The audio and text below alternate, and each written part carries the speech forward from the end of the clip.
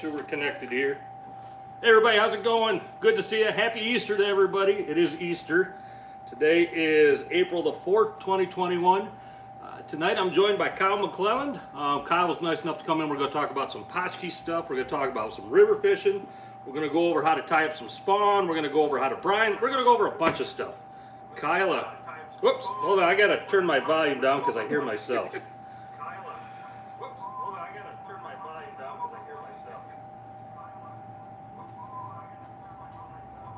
Myself many, many times actually. I seem to be repeating.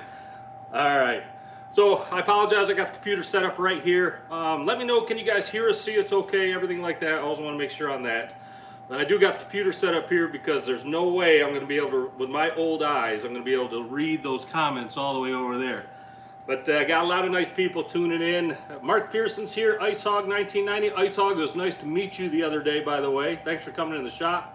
Will Spencer, Mike Fairchild's here. Barry Ecavaria. I hope I'm saying that right, Barry.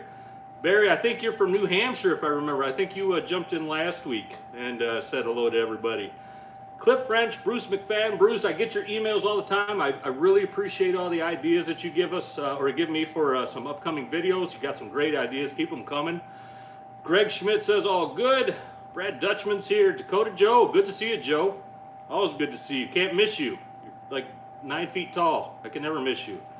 Uh, Matt Kohler's here. Matt Presidents. Matt, always good to see you. Thanks again for uh, donating all those things to the channel, Matt.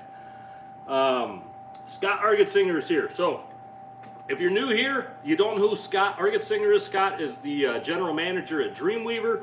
He's a heck of a fisherman in his own right. Um, he is great to have here on the channel. If you got any questions for Dreamweaver, jump on here, talk to Scott. He's uh, he's always happy to answer questions.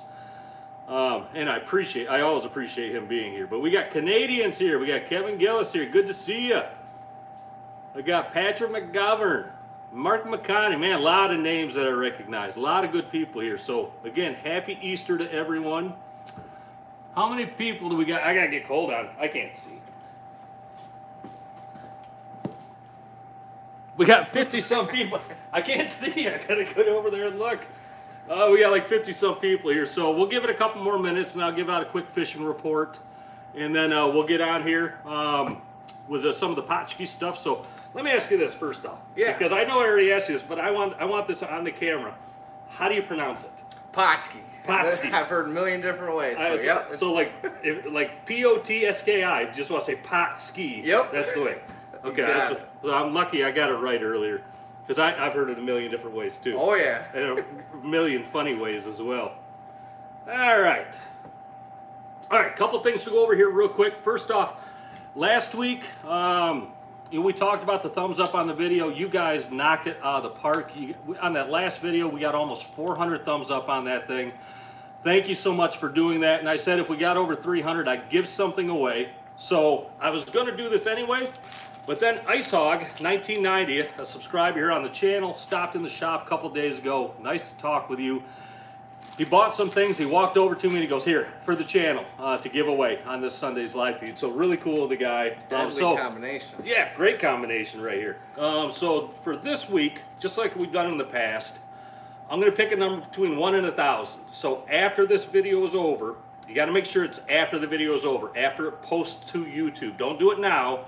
Um, my mom did that one night. She posted it. I had to talk with my mom, but uh, make sure after the video is posted, pick a number between one and a thousand. The person that gets it right first will get a Pearl Fish Scale Spin Doctor 8 inch, which is a great spin doctor, and a KRW Daybreak Fly. And that, you're right, Kyle, this is a great combination.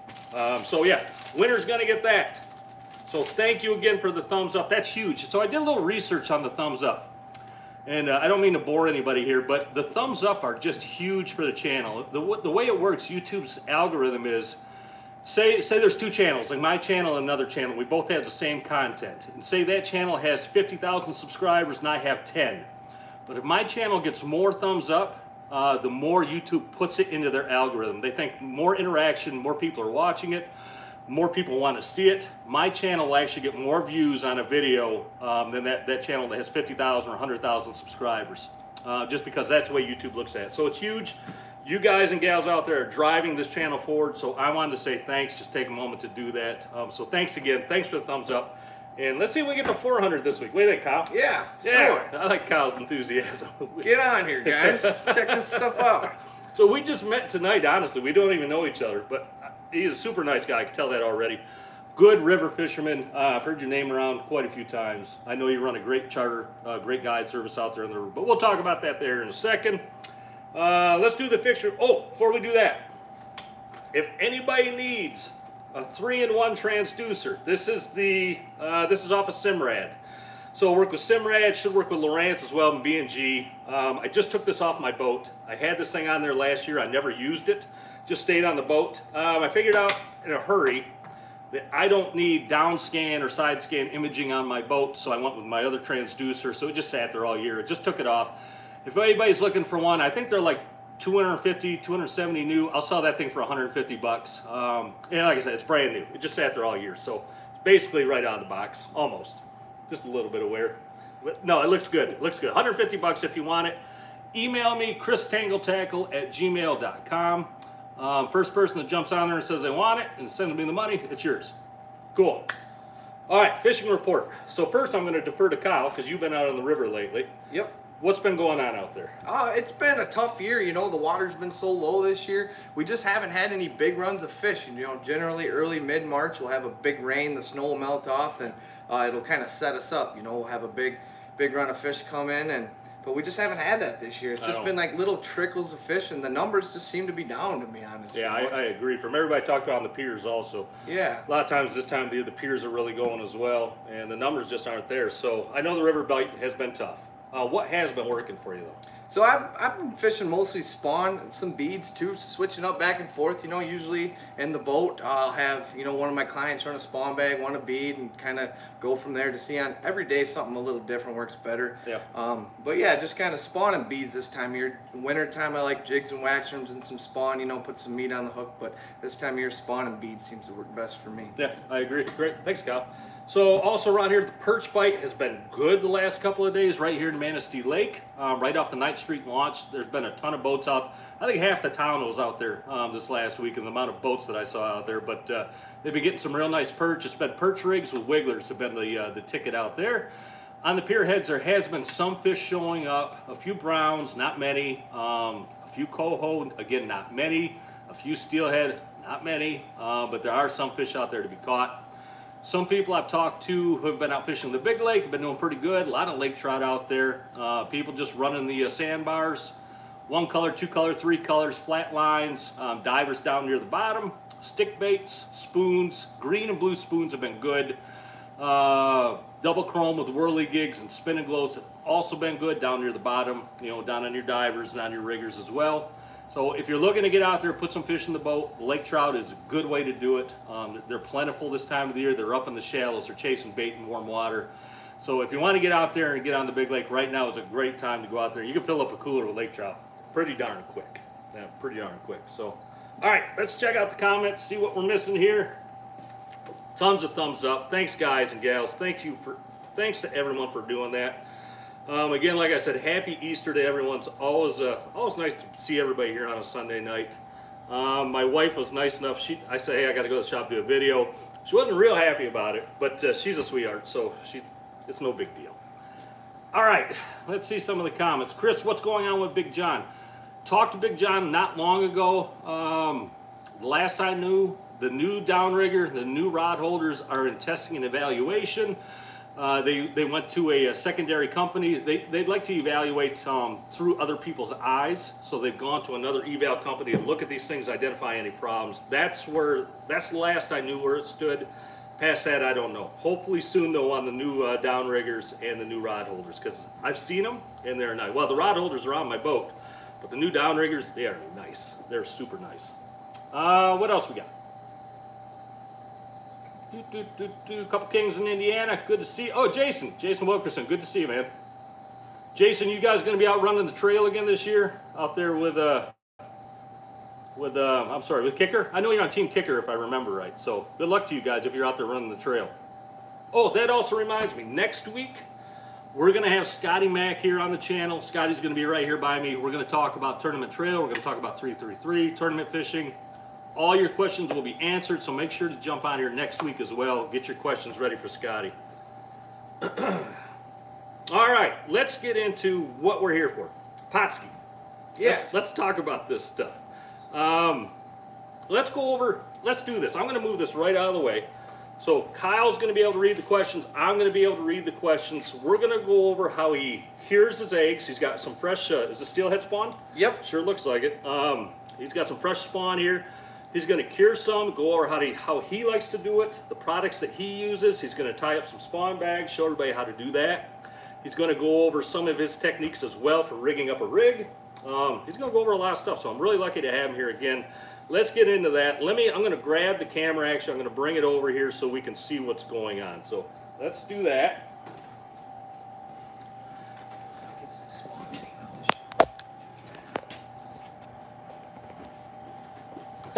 also the shot of me from the down, you know, the down angle. Uh, I always think I look like Shrek. Anyway, um, so Kyle, again, thanks for being here. Yeah, absolutely. How long you been out here fishing Manistee? Um, I've been I've been fishing the area for about ten years now. I've been a full time guide for about five years. Okay. Um, yeah, I started doing walking wade trips, and I worked my way up, and I got some.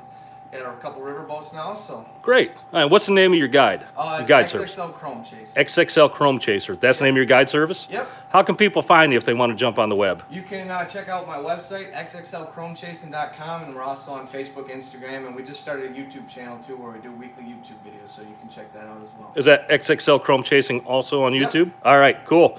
So yeah, if you guys want to get uh, more involved here with Kyle's, if you want to go on a trip, hey, give him a call. I know he's a great guy from what I've heard. I've never fished with him, but by reputation, I think you're a good guide. And uh, his YouTube channel is pretty good as well. So let's get into this. Pautzke, um, Pautzke makes a bunch of different things. I know that. Talk about a little bit about what you use it for. Yeah, so we got kind of this is just our basic, you know, this is pretty much all you need for river fishing in the state of Michigan and the Great Lakes for uh, kings and steelhead. So you know this this fire cure here, this is mostly what I use for kings. So we're not going to do a whole lot with that today. Um, you know that's going to penetrate, that's going to get your eggs that real vibrant color. You know you can get them vibrant pink. Uh, red, then you know hit them with some Borx O' Fire after. But for today with our steelhead eggs, pretty much when I cure up my steelhead eggs, I only use one cure really, and it's this natural Borx O' Fire. This is actually out of my boat, um, so the jar's a little beat up, but this is all I use for steelhead, guys. Uh, it's it's really basic too. I mean, these these are some eggs I already have done up here. I'm going to show you those in a minute, but these are some eggs. These are fresh eggs here. Um, this was actually out of a hen that we caught yesterday, and uh, she was half loose, had half loose eggs and half in skein. So.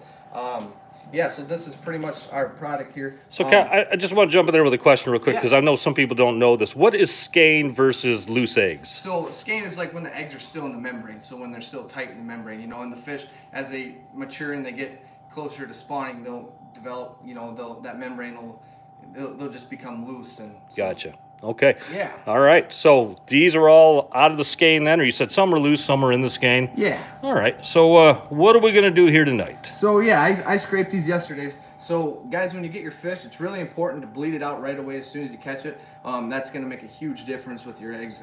I, I fumbled with that for qu- quite a while, but yeah, bleed it out right away when you catch them here.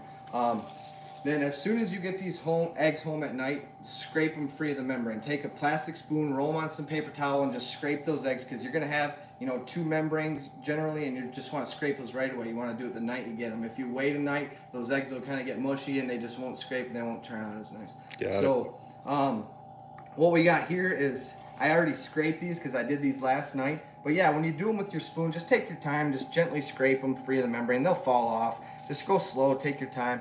And uh, so yeah, that's what we have here. Now, to get these to preserve is just it really couldn't be easier. And I'll do these up, especially it's nice because you know I'll do a whole bunch up at a time for uh, guiding. You know, so I'll have a good supply for a week or two. Um, couple keep a couple fish and have some good bait. And all I'm gonna do is just sprinkle about a spoonful here over top of them. And I'm just gonna roll these eggs around. And you don't want to overdo this, guys. It doesn't take too much here. Uh, if you over cure them, you know, you, you can kind of burn your eggs and um, they just won't turn out as nice. So just one, one spoonful across the top. And this is just two skeins, you know, out of about a seven, eight pound fish, I'd say. Um, roll those around. Now, if, if you burn your eggs, how can they tell if uh, if they've gone bad or been Um, burned? Yeah, they'll be they'll get really hard. You know, they'll get hard at times, um, and they'll just kind of dry up fast. And you know, you'll just see a lot of excess cure in the bag, and y your eggs just won't turn out as nice. You'll see a big difference if you do it. Just you know, use this stuff um, pretty generous. You, you can always add more, but you can't take any away once you dump it on there. Yeah, exactly. So I'm just gonna do like one more here, and this should be about good, really. You know, when you mix these around, you just want to see that dusting of dusting of cure all throughout your eggs, and mix them around good, you know. And uh, you want when you start this process too, you want your eggs kind of dry. So what I like to do before I start this, and I already did this with these eggs, is roll them around in some paper towel a few times because the more the more of those juices you can get out, and the less eggs you can pop when you're scraping them, the better your eggs are going to turn out. You want those nice dry eggs, and then they're just gonna the color's gonna hold when you're fishing them, and they're gonna turn out really nice and preserve well too. Now, if I remember, you got a you have a video on your YouTube channel. You show the whole process, drying the eggs, curing the eggs, also, don't you? Yeah, you can check that out. Uh, you know, it's start to finish, keep how to bleed the fish out, all the whole process. So you can Well, check I'll, out. I'll put a link actually in this video uh, after this uh, is done posting. I'll put a link up top there. People can jump on and they can watch that as well. All right, so we got so we got the brine on there. Can you show me the bottle and uh, Yeah. show, let me see exactly what it is that you're using It's a here? little torn up, but, but Yeah, it looks like it's been used. been under the boat. So this is the uh, the borax fire or the borx fire, however they say that, borax fire. Close enough. exactly. All right. Cool. All right. So got two spoonfuls of that on the eggs, and you you just sprinkled it on there. You mixed it around. Uh, it looks like it's starting to cure up a little bit. You can actually see the color starting to change. Yeah.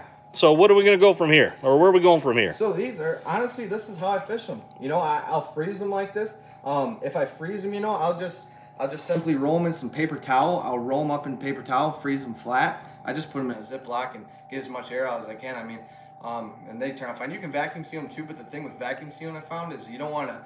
It's a fine line with vacuum sealing because if you vacuum seal them too tight, you're gonna squish a lot of your eggs when you do it. So Absolutely. that's why I like to use just like a freezer bag. And really, that's the biggest thing you want to avoid is is breaking your eggs. Yeah, if you can do it without breaking your eggs, it's just gonna make a night and day difference. Now, if you, if you freeze these, Kyle, how long do you find that they'll they'll last in the freezer? So I don't like to I don't like to keep these in the freezer for more than about six months or so, six eight months. You know, I, I always like to keep my bait kind of fresh. You know, um, I'll start with Chinook eggs in the fall.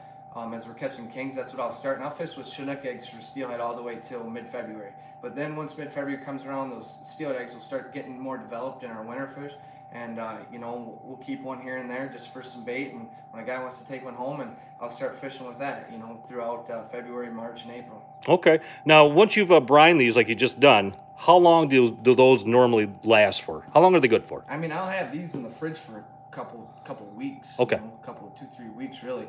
Um, yeah, I mean, a- and, you know, if you had these in the fridge for another week or two, and you know, it wouldn't hurt to add another spoonful or two of Borx O' Fire in there too if you want to keep them in the fridge a little longer. But So essentially, these eggs are brined right now. They're ready to be fished. they're ready to go. Yeah, I just like for still, I like that natural color. You know, if I'm fishing like a really high dirty water, which we just haven't had this year, um, sometimes I'll cure them up in this fire cure. So this fire cure, this Borx O' Fire, guys, this isn't gonna turn your eggs color. This is just, this is gonna add scent. It's gonna firm your eggs up, and it's just gonna, you know, it's gonna protect those eggs and it's gonna firm them up. But uh, this fire cure is what's really gonna penetrate those eggs. So when you run this stuff, you know, you sprinkle this stuff on, those eggs are gonna juice out and it's gonna get really juicy in that bag of eggs you got. And then what happens is you wanna keep them at room temperature in about 12 hours, those eggs reabsorb the juices and they get that real vibrant color. I mean, they'll be, your eggs will all be cherry red. And this is what I use for kings. Um, then I'll also hit them with Borx O' Fire after. Um, but yeah, if you want your eggs to get that vibrant color, you know, don't use the Borx O' Fire. Um, but just uh, this is good when a good combination this is why it's red is because it, it just works as a really good combination with the fire cure so like when i cure king eggs i'll cure it in fire cure first then i'll dust it off in this Borx O' Fire here Okay. Now, what are the, what's the benefit for steelhead eggs versus king eggs? Um, you know, I just kind of like to, as they say, match the hatch. You know, uh, when there's a lot of spawning salmon in the river system, you know, I like to fish king eggs. Then once later in the year, you know, mid-February, a lot of our winter fish will start spawning, and that's when I like to kind of go to steelhead eggs. Yeah, that's great. Yeah, That's uh, that's what I believe also. Yep, match the hatch. Yeah. always a great, always a great thing to do.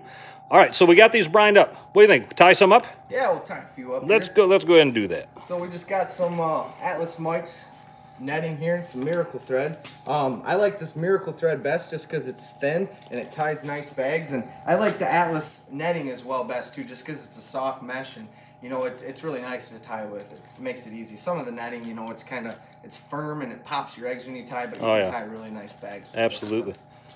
Um, so, yeah, I'll just take a piece here. Now, if anybody's looking for these products, they're right here available in Tangled Tackle. If you go on the website, tangledtacklecompany.com, they're all right here and available. And we'll actually talk about a sale here in just a few minutes.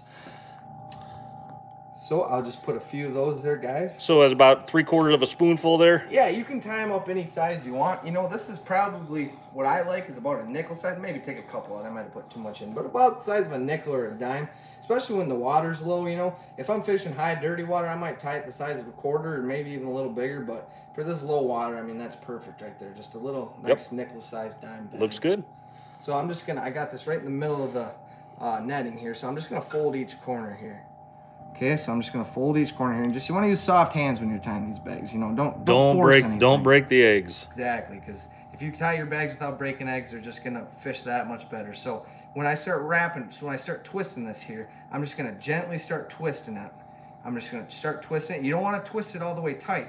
You know, I, you just want to twist it tight enough so it starts to get snug, but you can start to see a little. There's a little bit of play in there, but not much. You know, that's perfect right there. Good. So I'm gonna take this miracle thread here. This miracle thread actually is kind of miracle thread like the way that it ties. It works pretty good. Uh, so I'll just wrap it around two, three times, you know, kind of just snug it up a bit. One, two, three, four. Snug it up a bit. One, two, and break it. That's it. So that miracle thread actually stretches, right? Yeah, so it's gonna stretch and stretch right around your bag there. Um, and you, you know, when you're first starting, if you haven't done it, you're gonna break it a couple times. But once you get the hang of it, it's, Absolutely. it's easy. Then you just take your scissors and trim it off right there, guys, and that's a perfect bag that's gonna fish really well. That does look pretty good. Yep, definitely. So we want to maybe put one of these on a rig or something? Yeah, we can show you kind of just the general, you know, float fishing rig here that I like to use with this uh, spawn bag. Sounds good. Um, so you know, we got a bunch of different float sizes. These are Ravens. Blood Run works really well. I know Bud's got a lot here in the shop, um, so you guys can come by and pick some of those up. Um, I like the fast and deep. Like I said, Blood Run makes the same float. I like the fast and deep floats because because our rivers have you know they're fast and there's a lot of deep holes in them, so these seem to work best. Um, and so if I'm fishing like a big river like the Muskegon, Manistee, I'm gonna fish a 20 gram. I'm gonna fish a 20 gram. But if I'm fishing like you know a smaller size river, I don't know like the Pere Marquette or something like that, I might go down to an 11 or even a 5 gram in this lower water, um, just because just a smaller presentation and Yep. you don't need as much. Faster weight. water, you get the bigger, the bigger floats. Yep.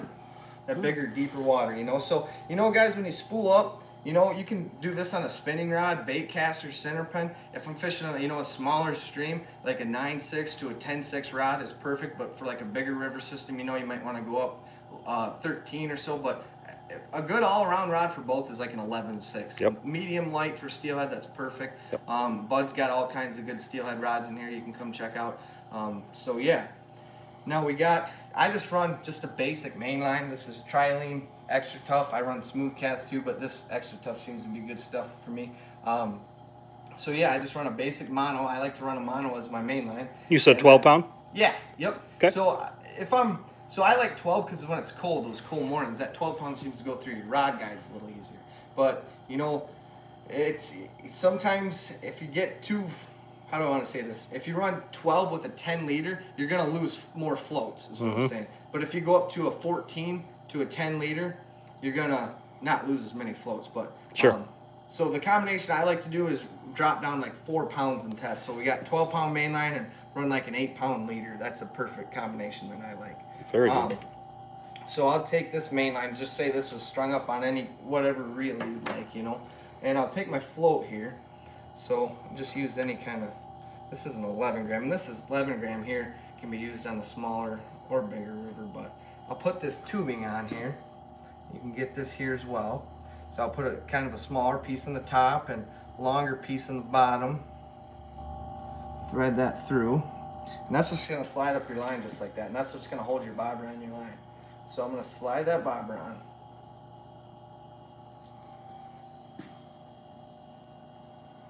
Okay, now this is gonna slide. Now this is how you can adjust your depth. All you gotta do is slide your bobber up and down your line. There you go. But little tip here, get your line wet before you slide this bobber because you will fray your line if you don't, and then you'll snap off your main line. Absolutely. Something goofy will happen. So Al- get that line. wet. always lubricate your line. Yep. And uh, so here, guys, just gonna put a little small black barrel swivel. Um, as well, Bud's got all this terminal, good terminal tackle here. You don't have to get fancy. I just like some sort of small black barrel swivel. This is, uh, you know, Raven, Blood Run, both make good ones. And uh, tie this on. I just use a regular old clinch knot. Nothing fancy here. Always works well for me. Tied that knot a few times, have you? Yeah, couple. Get that wet. Trim that tag piece. Okay. Now we're gonna take our leader on here. Now I just like to run maybe a, I don't know, 22, 24 inch leader um, of eight pound test fluorocarbon. So snip that off. Tie this on the other end of our swivel here. Okay.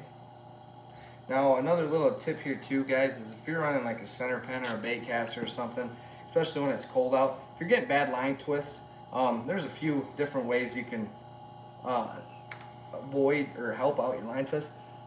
One of them is when I first uh, when I first spool up this line, I'll I'll be in the parking lot when I first put it on my reel. I'll get in the parking lot and I'll tie it off to like I don't know just a pole or something or my tailgate hitch, you know, and pull it. And I'll stretch that line up just so it's just about to break and you'll feel that line really stretch. And that's I mean you will see a night and day difference. Oh, absolutely. Promise, yeah.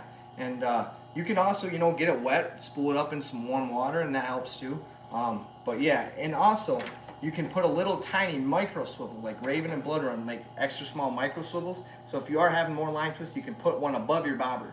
So and I can, you can even slide this bobber with this tubing over that little swivel, and you can kind of maneuver it like that. But that will help you if you're getting line twist. Great tip.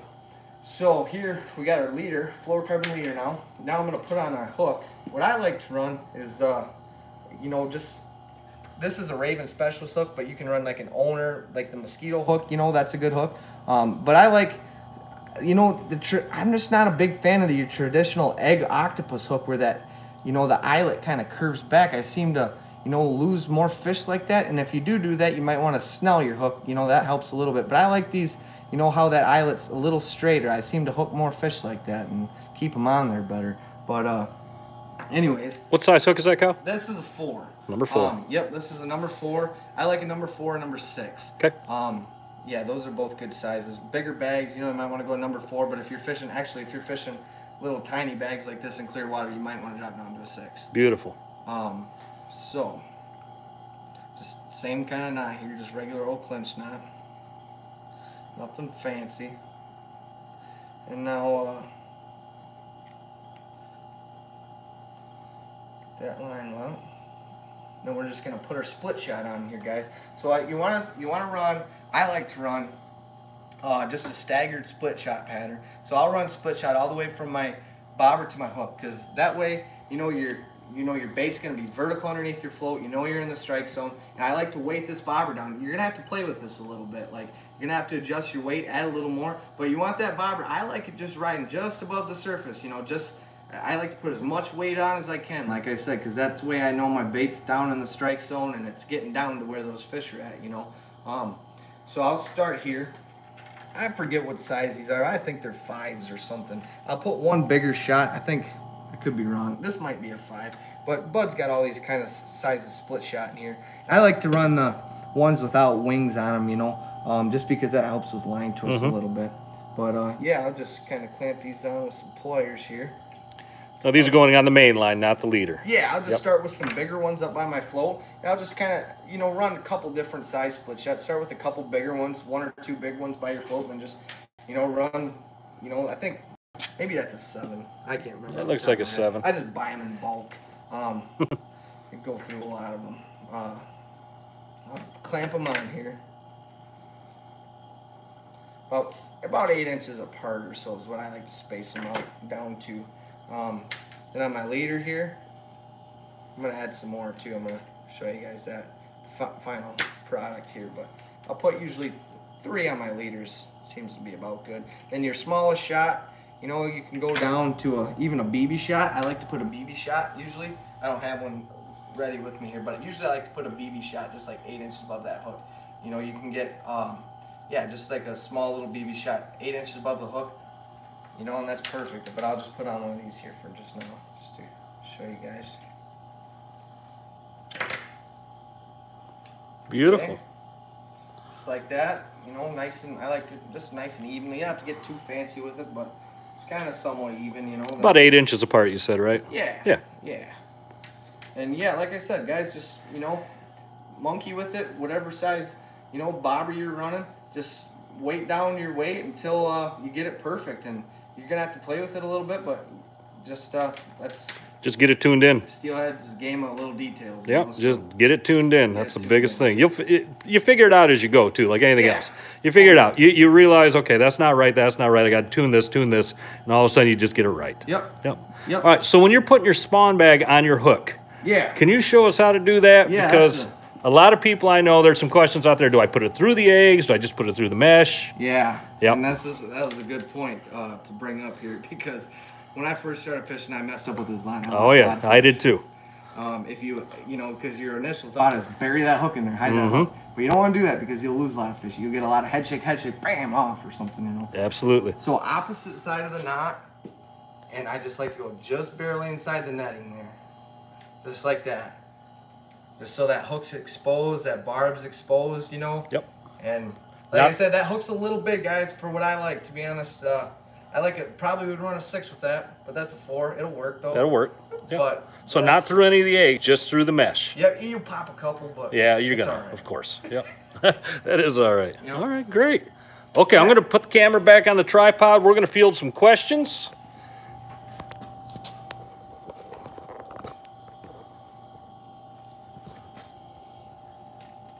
There we go. Well, Kyle, thank you very much for doing that. Absolutely. Really appreciate you coming in. All right, so whatever questions you guys and gals got out there for Kyle for anything, send them out here. Um, we'll uh, we'll get those answered up for you right now. If you want to talk about anything else, I'm happy to do that also. Greg Golib, good to see you, Greg. Let's talk about this though to start. So, in how do I want to say this? you guys will probably figure this out. Um, if you become a member on Tangled Tackle, and again, I've talked about this in the past, it doesn't cost a thing. You go on the website, front page, put in your email address, you're automatically, you're a member right there as soon as you hit enter. Again, we don't sell any information. We don't take your email and give it to anyone. It's strictly in our system only. When you become a member, you're going to get special deals, special discounts, special sales. So, because we're doing the Pautzke thing tonight, we're going to do 20% off the Pautzke products starting at 9 p.m. tonight until Wednesday. And when you put your when you go in there and become a member, you'll get an email tonight at 9 p.m. with a code that you got to use, the parameters of the uh, sale, when it ends, when it stops, everything you're going to need is right there. All you got to do, so you got till uh, what is that? An hour and a half away. If you're not a member yet, jump in there, become a member. It doesn't cost a thing grab yourself some Pautzke stuff, get ready to go out there and get those steelhead. Um, that was a great seminar you did there, Kyle. Really appreciate that. Um, I, I learned a few things myself. I always like having people in here that know more than me because I get to learn then too. You learn a little bit from everybody. You do. know? Yeah, I learn every day I'm on the boat, without a doubt. I learn from everyone. All right, uh, Clip Wrench, can you use this on shrimp? Yeah, you can. You know, if I was gonna use shrimp, uh, you want to use a fire cure, um, just because that's gonna really, you know, it's gonna turn that shrimp the color you want. But I would use that. You know, if you want to just kind of preserve your shrimp or add add scent to it, you know, you can run this Borx O' Fire and yeah, it'll absolutely work with shrimp. I use it with shrimp for sure. Absolutely. Skamania in the summertime. Yeah. Uh, George DeVos, do you uh, cure skein the same way?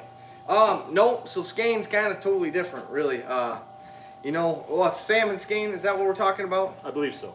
Yeah, so if we're, you know, if you're fishing like skein um, for kings and you're running big globs, no, I mean, that's totally different. So what I do for that, you know, obviously bleed your fish out, take your skein home the same night, then you'll just sprinkle, a, you know, a good light layer on each side, hit the membrane side, maybe do it one more time on the eggs, massage them in with some rubber gloves, get them, you know, get that mm-hmm. cure inside the skein, but keep your membrane whole, I like to.